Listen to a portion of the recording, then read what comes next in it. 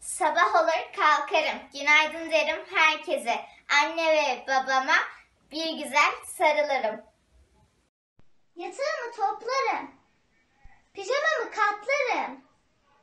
Elimi yüzümü yıkarım. Güne güzel başlarım. Kahvaltıya yardım ederim. Tabaklar benim işim.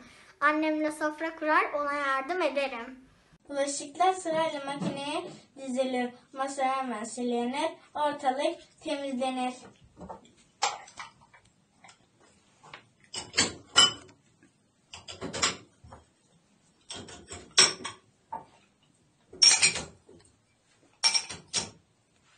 Okul vakti gelince elbiselerimi giyerim. Çantamı sırtıma takar. Okul yoluna düşerim. Okuluma giderim, öğretmenimi dinlerim. Teneffüs olunca ben koşup bahçeye inerim. İneriz okul bahçesine, oynarız hep birlikte. Sevgi, saygı içinde eğleniriz güzelce. Edimlik sayesinde eğlenerek öğreniriz.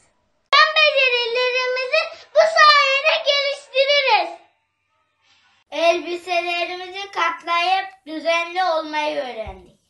Ayaklarımızı örmeyi, ayakkabılarımızı bağlamayı. Kumaşları, ipleri eğip büküp dizmeyi. Düğme dikip sökmeyi, tasarım yapmayı öğrendik. Artık materyallerle kuklalar yapmayı, kendi kendimize yetmeyi öğrendik. Unutulmuş değerleri beraber canlandırdık. Ailemizle zaman geçirip çocukluklarını hatırlattık.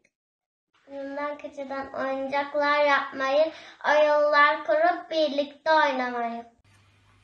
Kiri, çamuru elimize alıp doğaya karıştık. Hiçbir şeyi atmayız, dönüştürürüz bir güzel. Onlarla hep yeni ürünler üretiriz. Yaşam beceriyle eğlenerek öğrendik. Öğretmenimize çok teşekkür ettik.